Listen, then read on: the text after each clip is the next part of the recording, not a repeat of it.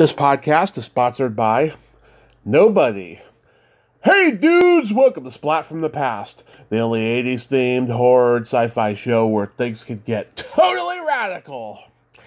Now, today I am fulfilling yet another bucket list guest that's been a long time coming. I will be talking to Marilyn Lightstone. Marilyn is a multi talented actress, voiceover artist, graph- graphic artist, um, talk show host, radio host, painter. I mean, there's nothing this woman can't do. She is so talented, and we're going to be talking today. You know, she was the uh, voice of the evil queen in the uh, Den segment of Heavy Metal. And um, she's been in some great movies like um, Lies My Father Told Me, In Praise of Older Women, um, the horror classic Spasms, which is very underrated. Um, she guest starred on a lot of shows like Cheers and Cagney and Lacey and Starman, the series. She was on Avonlea as a recurring character. Uh, she did voices for the new Scooby Doo Mysteries, Dennis the Menace, Challenge of the GoBots, uh, The Real Ghostbusters. She's done a lot of work. It's going to be a great talk today. I can't believe I finally got through to her on social media and we're finally going to make this happen. I cannot just wait. Uh, September, autumn, September is just so awesome, and it's going to keep getting more awesome as the next two weeks wear on until Halloween October launches, which is going to be a real toe curler in and of itself. So, yeah, here is my interview with Marilyn Lightstone. Hello? Hey, Marilyn, welcome to the show. How are you today? Oh, Tom. Hi, thank you so much. Yes, this is such a great honor. Thank you for taking the time today. My pleasure. What so, can I tell you today? So, going back in time, uh, you've worn so many hats. Uh, you've been an actress, photographer, painter, writer, radio TV host, graphic artist. Were you a creative child growing up in Canada? Uh, yes, I was. yes, I was. I, I sort of spent most of my time drawing and uh, singing songs and making up plays with my friends. Wow. What age did you start uh, gravitating toward acting? Oh, gosh, I really don't know. I, I'm far too old to answer that question. A very long time. did you um, get involved in school plays and community theater? Yes, uh, well, there wasn't much community theater around at the time, but I, I did get involved in school plays, Christmas concerts, and stuff like that. Mm-hmm. Were there any uh, specific movie stars that you idolized that uh, you gravitated toward? No, I really didn't. We uh, I grew up in Montreal, in the province of Quebec, in Canada, and um, the situation was very unusual. There had been a a, a theater in a in a movie a fire in a movie theater at some point. I don't know, in the 20s or the 30s. Wow. And by the time I was born, kids were not allowed to go to the movies until they were 16 years old, except, of course, for, you know, kids' programs and stuff like that. But we weren't allowed into the movie theaters. So uh, didn't get to see much movies when I was a kid. Really was, radio was what kind of influenced me. Wow, that is interesting. It was a wonderful show called Lux Radio, Radio Theater. I don't know if you've ever heard of it. I don't know when they stopped, you know, listening to it, but I remember being in my in my my family home, and my parents would be in the kitchen with my grandmother, and they would be listening to Lux Radio Theater, and I was supposed to be in bed at that time, but uh, they probably knew this, but I sneaked out of bed and I sort of moved just around the wall on the other side of the kitchen, just around the door, the doorway, and listening to uh, radio versions of um, of American movies. Wow, that's interesting. Yeah, a lot of people um, in those days listened to the radio a lot, and they would hear like you know soap operas and stuff. Yes, yes, and I oh I remember that little all kinds of stuff. I remember the soap opera sort of sitting in my in my friend's uh, in friend's home and having having a lunch as we had our our summer vacation. I used to spend some time with my at my friend's cottage, and uh, her mother used to. I can't remember the name of it. Was a it was a widow in a mining town. I remember something very dramatic like that. But uh, will the so and so, you know, sort of get out of the problem she's in, or marry the man that she loves.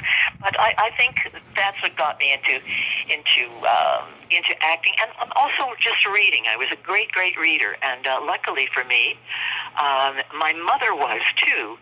Now, I, my family didn't have very much money, so my mother belonged to um, these commercial book clubs. I don't know whether they still have them, but mm-hmm. you sort of would, would sign up with a publishing company, and they would, for a certain, you know, fixed sum, usually quite modest, they mm-hmm. would send you three books of your choice, like that. So they were in a, you know, in a um, a book bookcase in our dining room, and um, there were certain books that I was not supposed to read because I was, oh, well, about 12 years old at the time. And um, there were some very racy novels, one called Forever Amber, Amber I remember. And um, I used to read my, my mom's books when she was out doing the shopping. I would read her books, even though I wasn't supposed to. So I, I was hooked on stories a long time ago. Was uh, Tropic of Cancer one of them? Uh, no, I don't think even I don't know if that was published at the time. I'm quite old, Tom, so that's I can't. I really can't remember. Frank Yerby, though, I remember one of the uh, one of the the authors that was quite possible. So they were kind of historical romances mostly. Yeah, you're, you're talking about like the Book of the Month Club, something like that. You know, where they that's sort of it. Sort of like that. Yeah. Wow. So you attended uh, McGill University. Did you study acting there? Uh, there was no acting course there. There was actually quite a policy at the university that um, there was there was no acting program at all. If you you studied the literature of the theater, you studied plays. I was an English major, and I think I probably read you know every every play that was ever written. But we did not have any kind of acting courses at the time. Mm-hmm. My first acting school was when I, I finished McGill. I had my my BA degree, and uh, luckily for me, um, the only full time theater school in Canada, the National Theatre School, was opened during my last year of university mm-hmm. and in my hometown of Montreal because um, I didn't have a dime to go off to New York or to London to study, and that was what happened to most people interested in acting before this acting school opened in Montreal. If you your choice was sort of made as to what your career would be. If you went to London, mm-hmm. you would probably wind up staying in London or or New York sort of a different kind of acting career. But uh, that would have been impossible for me because I, I didn't have a cent, not a sou after university. So just at that time, the National Theatre School opened and I auditioned during my last year of university and was accepted, and that's where I spent the next three years. Wow. Did any of your uh, classmates go on to become successful in acting? Oh, lots of that, lots of them, lots of them. It, it's it became a very wonderful, wonderful school, and uh, lots of actors, you know, came from the national school. Yeah. Yeah. Did you uh, go to New York after that? I spent some time in New York, but I I went because um, I was sort of sent there. Um, one of the I, I was working at the Stratford Festival at the time, and um, the um, one of the directors, who was a kind of a fan of mine and a friend, named John Hirsch, an extraordinary director. He he'd done a lot of directing in New York at Lincoln Center and other places, and they were looking for someone to play Goneril in a production of King Lear with Lee J. Cobb. And uh, he told them they should get in touch and they should hire me. So I left the Stratford Company with their blessings and went to New York to play Goneril in King Lear. And that's when, when I spent my first time in, in New York, and uh, returned sometime afterwards to do a, an unusual production called Tamara, mm-hmm. um, which ran for years and years and years at the the Armory in New York. And this was a very unusual production in which the audience was split up into I think it was ten sections following ten different actors in this great large building, which was dressed up to become Il Vittoriale, which was where uh, an, an historic figure named D'Annunzio, an Italian, mm-hmm. lived during during the war, First World War, and um, that was an extraordinary experience actually because I, I really I think every actor should have that that experience because you were the audience was all around you, close up. There was no we were not on stage. The audience was divided into ten, each assigned to a certain character, which they then could they could switch characters if they wanted to. But they followed them all through this building, which was like three stores, mm-hmm. stories, and with a kitchen where, where cooking was going on, and, and a, a dinner situation, and uh, a highly highly unusual production, which um, really kind of formed my way of thinking about the theater. Is that one of the uh, highlights of, uh, of, of theater in those days for you? Beg your pardon. I'm telling you, you're not exactly clear, Tom. Can you? I'm sorry. Anything about that? I'm sorry. Um, what, slightly muffled. I'm sorry. Was that one of the uh, highlights of theater um, in those early years for you? Uh, well, it wasn't so early actually. I was already kind of well established, but it certainly was a highlight. I I performed the the role that I played. I I did it for one year in Los Angeles. It went on to one you run many many more years after that, mm-hmm. and then I did it for another year and a half in New York. So it, it it was a highlight.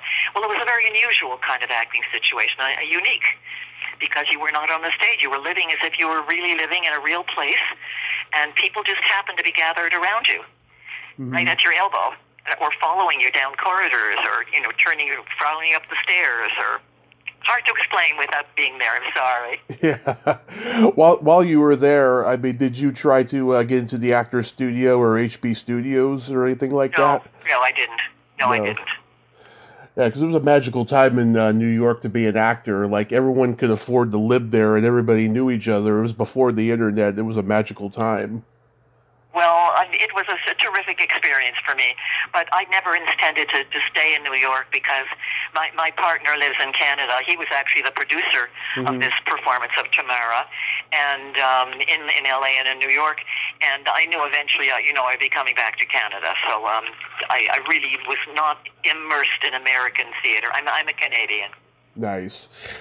The the first uh, big movie, according to IMDb, was "Lies My Father Told Me." Uh, was that a standard audition for you? Beg your pardon? Was that a standard audition for you? Um. Well, a favorite audition. I'm sorry. What kind uh, of audition? I'm sorry. A standard audition. A standard. Uh, no, I, I don't quite know what you mean by a standard. You mean like an open audition where people, a whole bunch of people? Yeah. Were asked, no, no, I was asked to do this part. Mm-hmm. You were just offered. They saw you on stage and um, just got offered yes. it. Yes. Yeah. What did you? At that time, I sort of had to establish myself, you know, in the, in the community in in Toronto. Yeah. What, uh, what did you think of the script? Uh, of of um, my of lies my father told me. The whole the whole experience was just great because um, mm-hmm. first of all, it was a movie that was set uh, in a neighborhood that I grew up in in Montreal.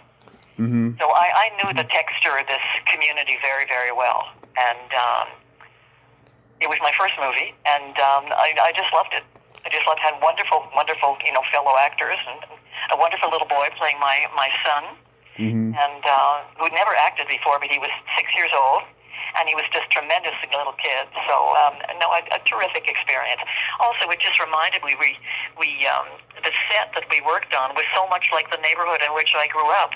And in one case, we actually were doing a, a scene that we were looking for an, for an apartment, a flat actually. Mm-hmm. And the, the, the, during this scene in the movie, I, I just felt like I was transported back to the time when I was a kid because this is the same neighborhood that I grew up in and all my friends grew up in.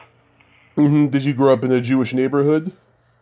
It was a Jewish neighborhood, a French Canadian neighborhood, an immigrant neighborhood, uh, a real, an interesting mix. It's now, you know, at the time it was a very, you know, low economic level kind of neighborhood, but it is now very trendy and very popular in Montreal. It has a lot of, uh, a lot of sort of, um, oh, not the word, but. Uh,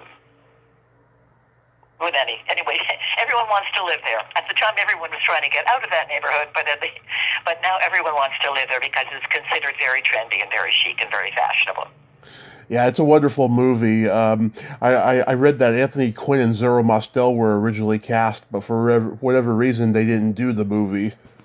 Yes, well, we had a wonderful uh, actor, an Israeli actor named Yossi Yadin, mm-hmm. who um, had his own theater in, in Tel Aviv in Israel, and um, and he performed the role and, and very very well indeed.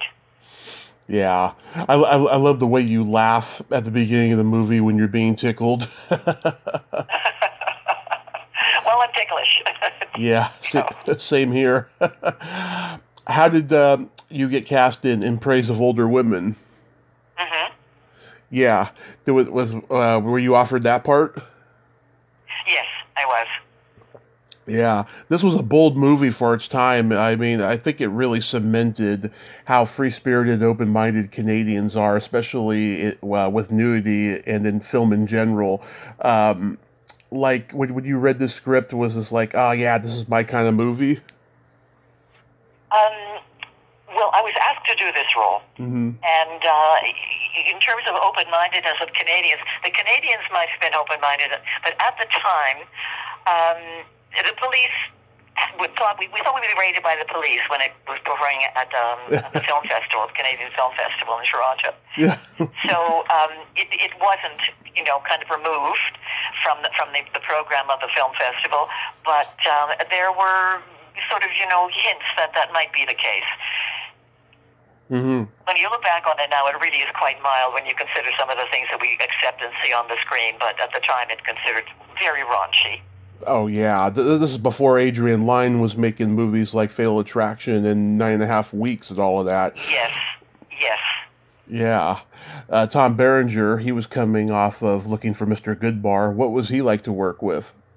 Uh, he was a very sweet guy. He was there with his wife, Mhm. and I sort of they sort of kept themselves. And uh, except for you know the our time on set, we really didn't spend any time together. So I really didn't get to know him. But he was a lovely young man and um, very hardworking. It was a pleasure. Uh, w- w- was there any indication that he would become the huge star that he became? No. No. No. He, you know, he did a nice job, but I, I can't say that he startled anyone by his, you know, whether he was doing on on screen. He he did his job very well.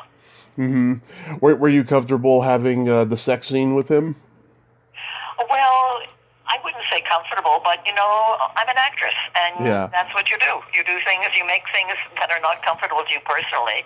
You're you're playing a character, and uh, you just have to say to yourself, "There's this is not me doing this; this is my character." So uh, that's what the job is about. Hmm You you came in there like Mrs. Robinson. You came in there so seductively. I, I think it was it was brilliant what you did. Well, thank you. Yeah. A long time ago, my dear Tom. It's probably more more present in your mind than it is on mine. Yeah. A very long time ago. well, it's a movie. I Young c- lady. Yeah, well, it's a movie I can relate to because I lost my virginity to an older woman when I was eighteen. So Oh, did you? Yes, I did. Okay, so you took it personally then. Yes. absolutely. So for me, it was an acting job. Yeah. yeah, when CBS aired it here in the U.S. for the first time, they cut out like 27 minutes of it, which is really, which is really bizarre. I'm surprised that they even showed it at all on CBS. I'm amazed too. So then you uh, provide the uh, voice of the Queen in uh, heavy metal in the Den uh, sketch. Uh, how does that come into your life? Well, you know something. I never saw the, the film.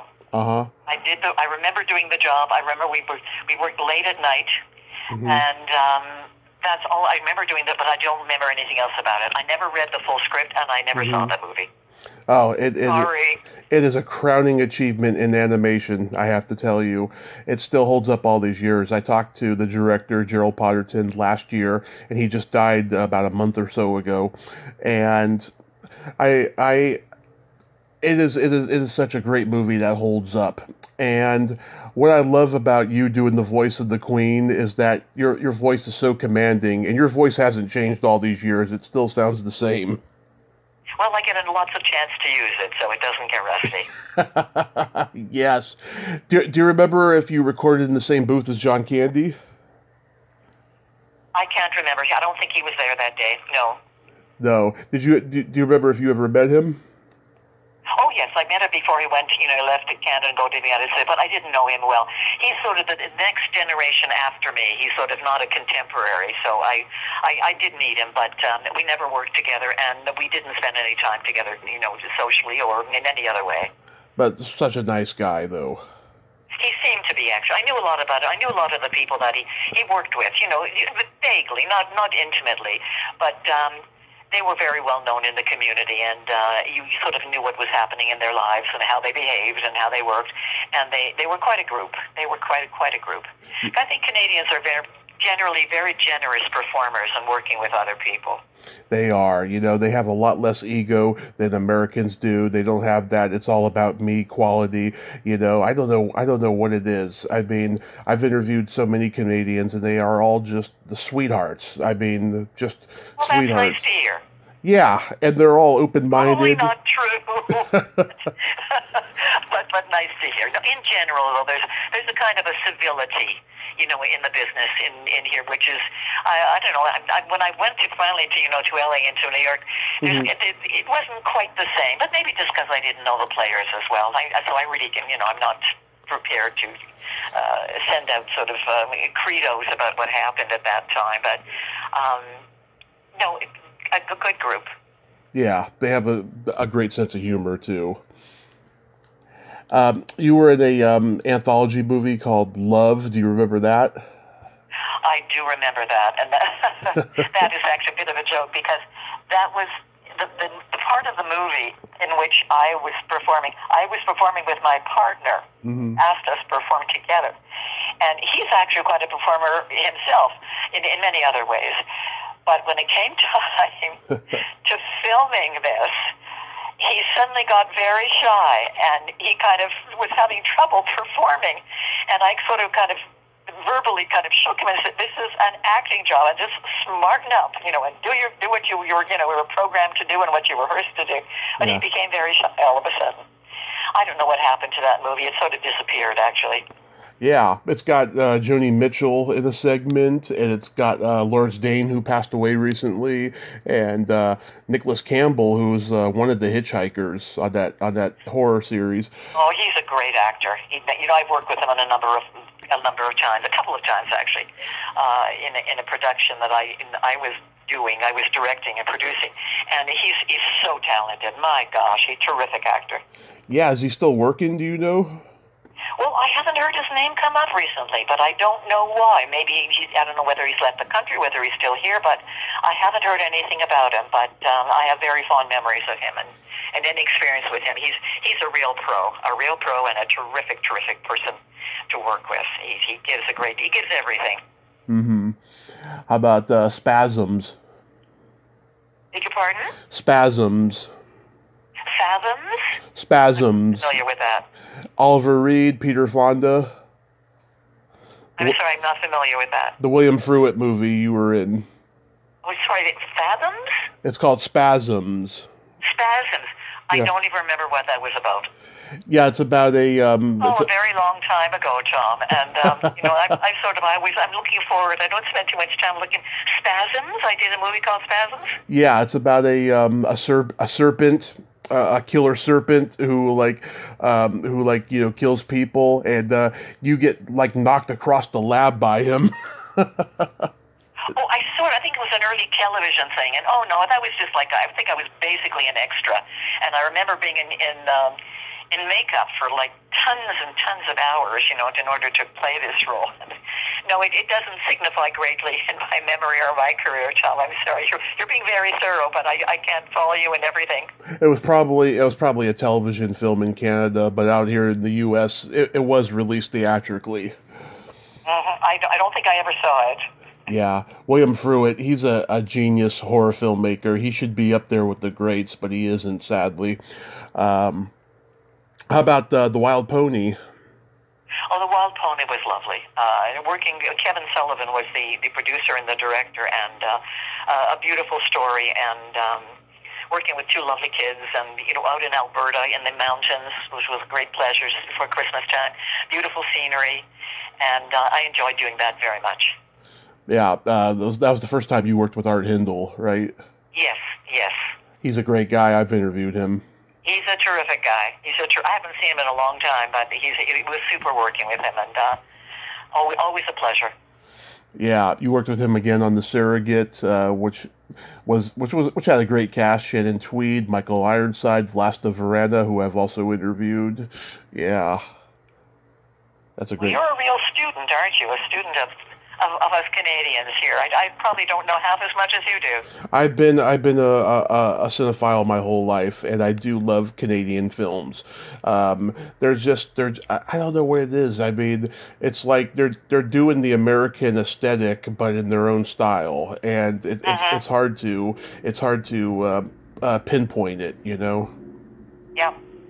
Many people have tried, but it's difficult to do. The uh, Canadian style. Yeah.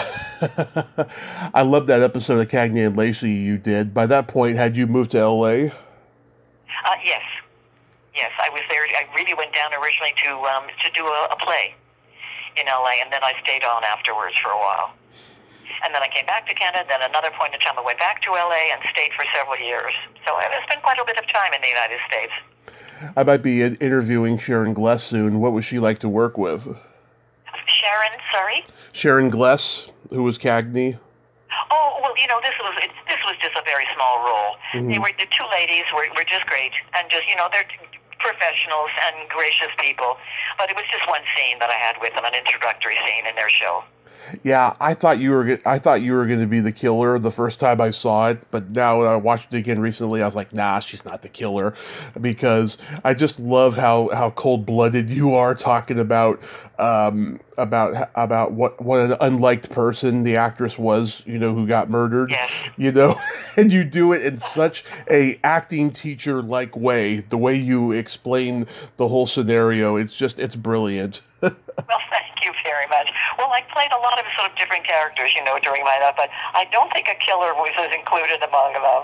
Yeah. Mind you, Goneril in King Lear in New York was pretty much, she didn't kill anyone herself, but she could easily have done it. Yeah. How about guest starring on Cheers? Um, that was great fun to do. And you know, it's, it's so it was such a hit show at the time that just to be you know be a part of it, and even for a brief moment, and it's so interesting because here I was at the time I did Cheers.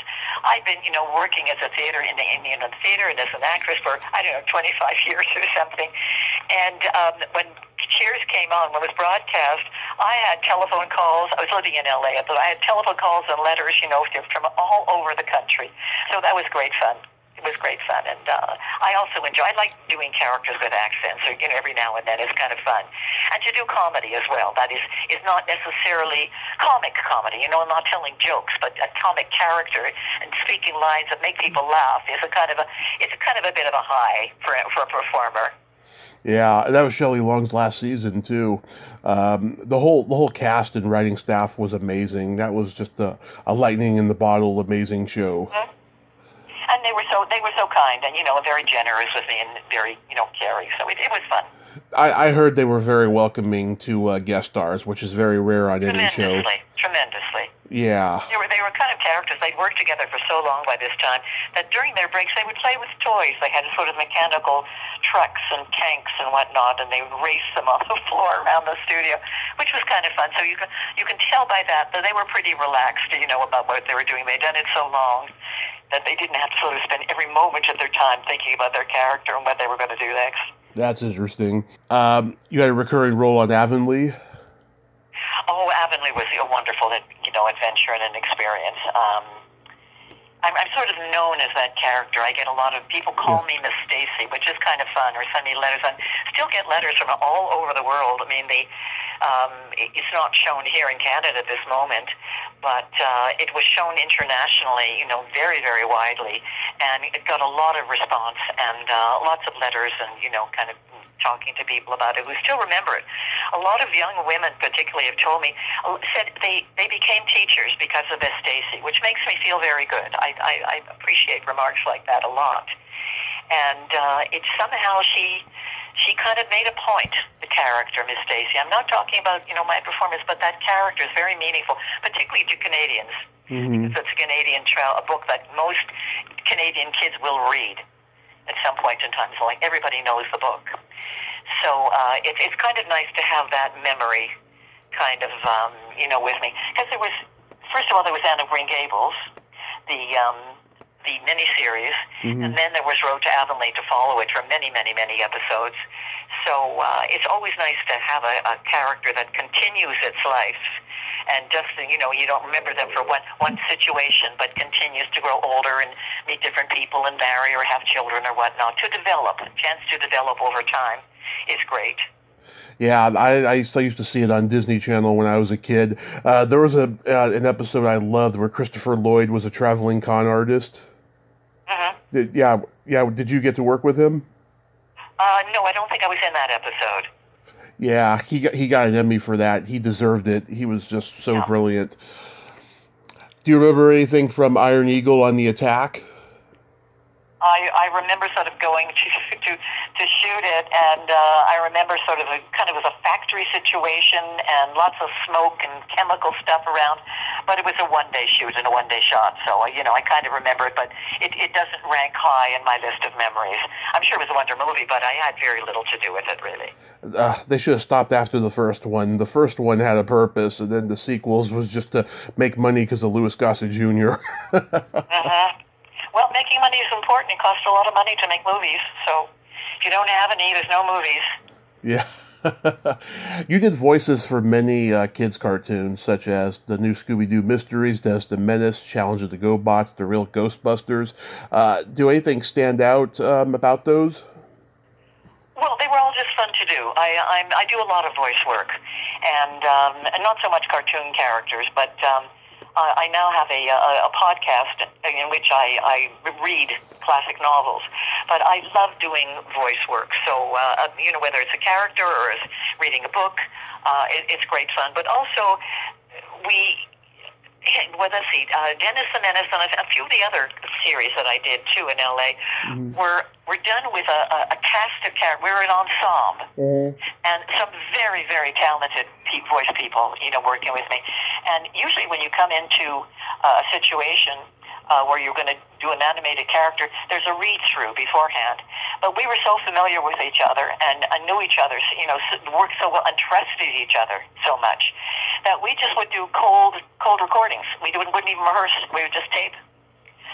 But mm-hmm. I, I love doing that, and I also like working, you know, with I like working with wonderful people. When you get a chance to work with wonderful people, time after time, show after show, uh, it, it's it's a blessing. It's a gift and a blessing. Yeah, I mean, uh, the Menace had Phil Hartman, Jeannie Elias, uh, Brian George, Riva Spier. Uh, God, a lot of great people. Yeah, terrific people. Maurice Lo- acting is, and also the thing is, mm-hmm. you know, uh, we were asked to do some pretty ridiculous things and come up with ridiculous voices. And but we, because we never rehearsed, we were just so trusted, we just sort of did all that sort of stuff, kind of, you know, on our own. And it was so liberating. It was like being kids again and putting on voices and playing characters. But it was a great joy.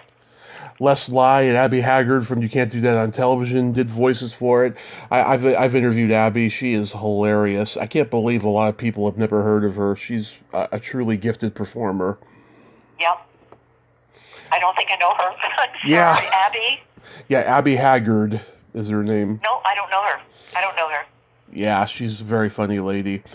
Yeah, yeah, the real Ghostbusters. Did you work with Laura Summer? Uh, Laura Summer? Yeah, she did the voice of Janine on, on the Real Ghostbusters in the first season. I really don't remember, Tom. I say it's it's decades ago.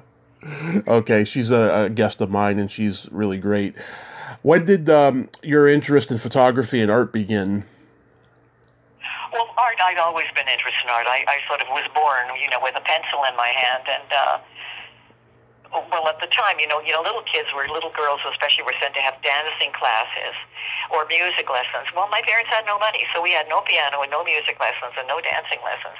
But my dad was a printer, so we had lots of paper, and I couldn't run out of paper. So I just started drawing when I was a small child, and um, and continue to this day. I still do artwork, mm-hmm. except now I do it a lot of it digitally, you know, on my on my iPad, mm-hmm. and. Um, let me see, uh, and photography came later, actually. Photography was about, I don't know, 25 years ago, 30 years ago when I first decided that I wanted to use a camera. But mostly I've been a, you know, a painter. Uh, my photography is something I do periodically now, but uh, not something I do all the time, whereas kind of digital art is something I still do fairly regularly. Mm-hmm. Do you have galleries? Beg pardon? Do you have galleries?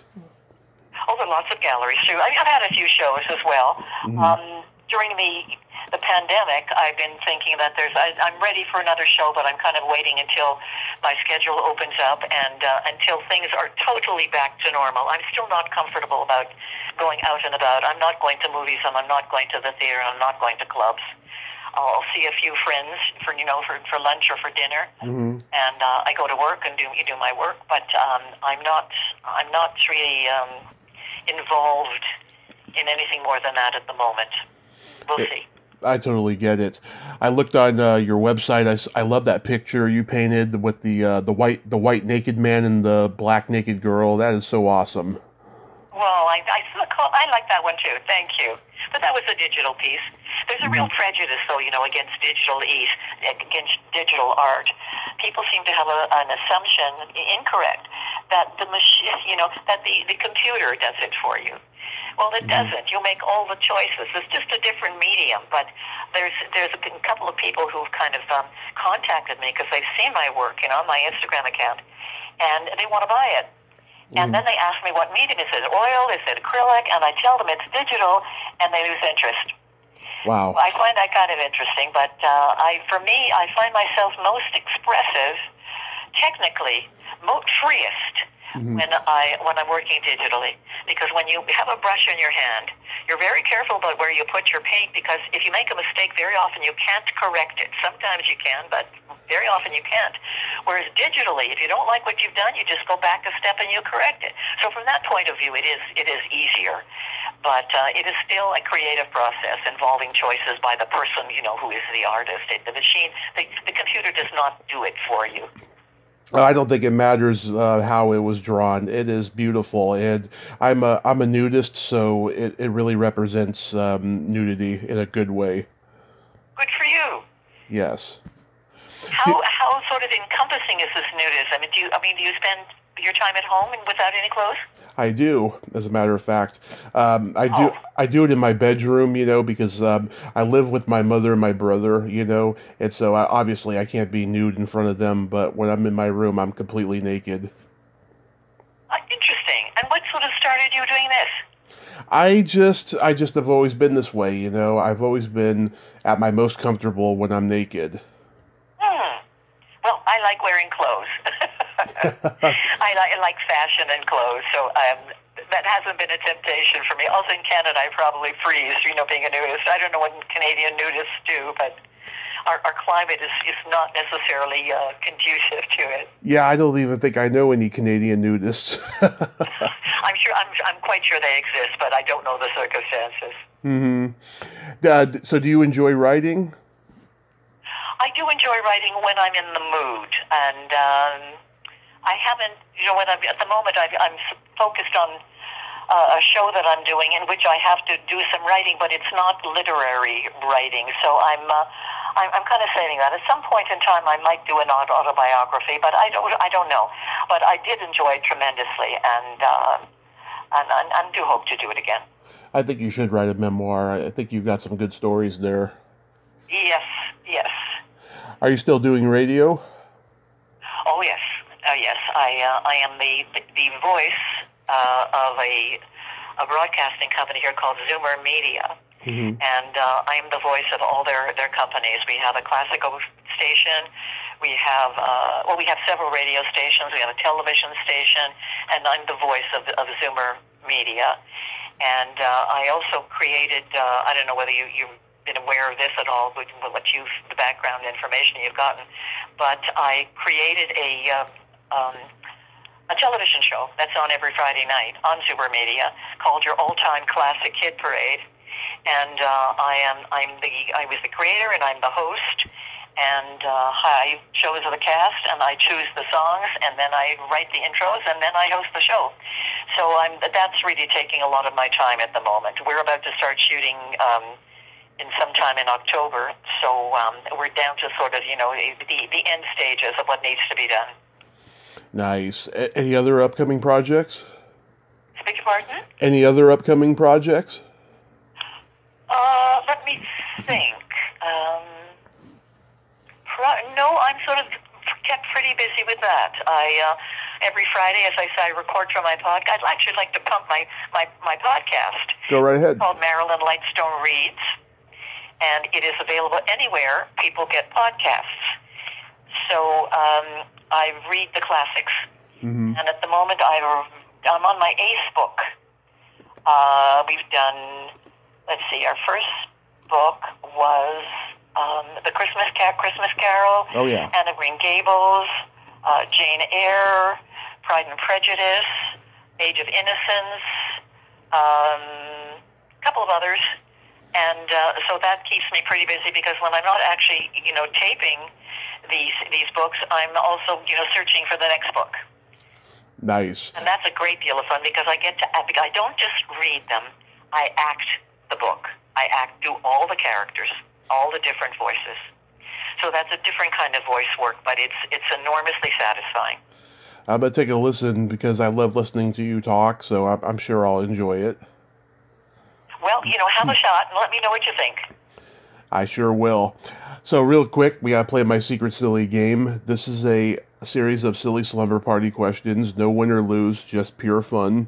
And Okay. how the game works is I ask you the question, you then answer it, and then you ask me that exact same question, and I answer it. And feel free to comment on answers because they can be funny. I'll try my best. Okay. Let's see, I uh, we, we kind of know the answer to this already. Marilyn, are you ticklish? Um, yes, I am very. Uh, Tom, are you ticklish? Yes. Uh, if you tickle me without warning, I'll hit you in the groin. But if you let me know in advance, I'll uh, enjoy tickling. well, I'll make it a point to let you know. I don't want to be hit in the groin. You wouldn't do that to me, Tom. You wouldn't. No, I know you wouldn't. Absolutely Okay, not. next question. Um, what's your favorite part of the body? And it could be anybody's, anything.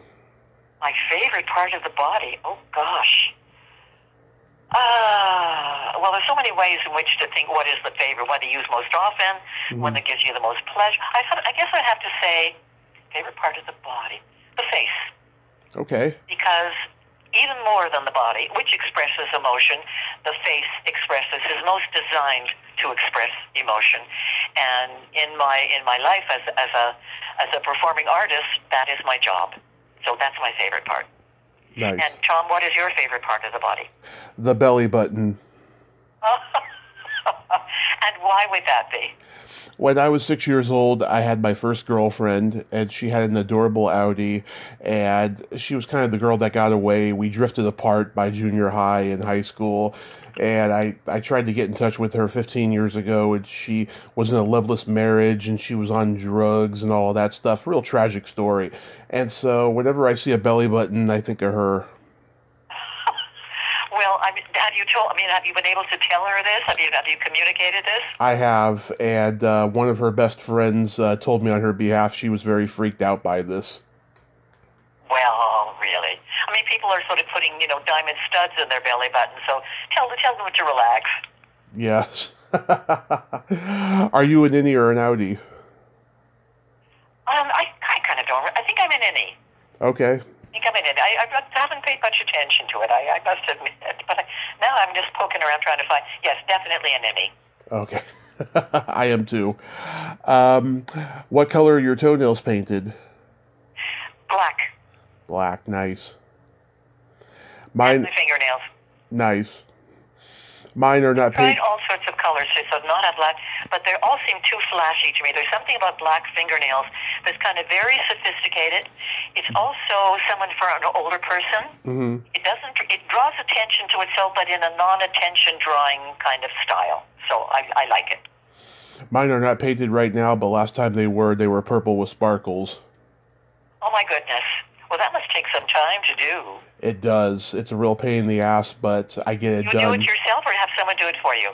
I, I, I've been doing it uh, myself in recent years. I used to get them done professionally, but inflation has gone up so much that I don't get them done professionally no more. Okay. Yes, it is costly. It is costly. What would you say is your best personality trait? Ah, personality trait. Oh my. Um, I like to smile. You have a great smile, by the way. Thank you, thank you. I. I, I like being. I, I try to be kind and and pleasant to people, and I think I'm able to do that. And I think it's a two-way kind of street. I behave that way, and then I receive the same kind of behavior from the people who are responding to to me. Wonderful, wonderful. And you? Um, I have empathy, and I also have no filter. No filter? Yes. Oh my goodness. Oh my, that must be difficult at times. Well, it depends with the the right people, I guess. I guess. Well, that that goes for just about everything, right? Yeah, Depends on the right people. So many things in life depend on the right people. it's all The same access, absolute same thing, but you know, depending on who it is, that would can alter the change of your, you know, the part of your life that's moving on. It's it's all subjective, is what it is. And then um, my favorite question: Is there a stinky smell that just makes you gag? hmm. I'm sure there must be, but I can't think of one at the moment. Sorry, Tom. It's okay. For me, it's either farts or feet. well, the company that I usually keep, keep aren't too heavy on either farts or feet, so I'm, I'm, I'm okay. I'm protected. Yeah. and I, I have a joke for you, Marilyn. I'm listening. Uh, what do you call a boy that doesn't masturbate? I have no idea. A liar.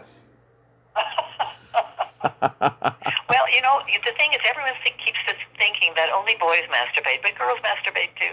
I know. I don't know what what is up with that. You know that uh, people uh, bring out that stereotype. Well, it's something that was considered. Girls were not supposed to have sexual feelings, you know, during the time I was growing up. Mm-hmm. But the, the girls themselves knew, knew different because uh, that's biology. It, it has nothing to do with the, the, the culture of the moment. But the culture in which I grew up, you know, was really quite repressive. Girls were sort of kept, knew they had to know their place at the time. Yeah, sounds like uh, government propaganda to me. no, it was just the mores of the time. Remember, I, I grew up in a different time than you, Tom. I know, I know. It's child just... in the 40s. I was born in 1940. I know it's just so different now. You know, I mean, a lot of things in hindsight looks like just you know, you know, government propaganda and and social propaganda and. and everything. It's weird, you know. Just like you know, if if someone was caught having premarital sex, they would get arrested. Well, everyone, you know, the morality, what was considered moral and proper behavior, was different at the time different times bring out different mores, and uh, those were the mores of the time. The mores of, I, you know, you can say I disapprove of those mores, but I don't even know if I approve of the ones today. I mean, you have to be sort of pick and choose as to what you think is, is proper and right and pleasurable. But at the end of it all, I think what everyone does in the privacy of their own home is their own business, and no one should, you know, no one should censure them for it. I totally agree. Marilyn, thank you so much for coming on today. I hope this was painless for you. It, it was painless. I'm just having a, having a little trouble hearing, but I think we, we made it through all right, Tom. I Thank think, you for thinking of me. Absolutely. You know, I've been I've been I've been trying to get connected with you since I started five years ago. I'm finally I'm glad that we finally did through Instagram. It's amazing. Me too. Me too. Well, I'm gonna I'm gonna take a listen to your podcast and be safe out there and keep on being creative because I will pay attention to anything that you have out. Thank you so much, Tom. I'll do my best. My pleasure. Have a great day. Thank you. Bye bye. Bye bye. Well, there you have it. Marilyn Lightstone. Ain't she a sweetheart? Great lady, huh? Yeah, I mean, you know, I'd waited five years for this interview and stuff. And yeah, she didn't remember a lot of stuff, but it was a great conversation and she's interesting and she's not judgmental. So it was a great talk, and I'm glad I got to talk to her today. Long live the Queen. Until next time, this is Tommy Throwback Kovac saying there's no shame in living in the past because the present sucks. Later, dudes.